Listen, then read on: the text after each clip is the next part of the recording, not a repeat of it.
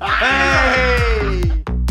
It's finally Love Island season. Oh, I can't wait to get stuck in. What's the one question you think we get asked the most about Love Island? Will there ever be a bromance as good as Chris and Kem? Come on, mate, don't be silly. You know what it is? It's probably what they eat in the villa, innit? Well, that one's obvious.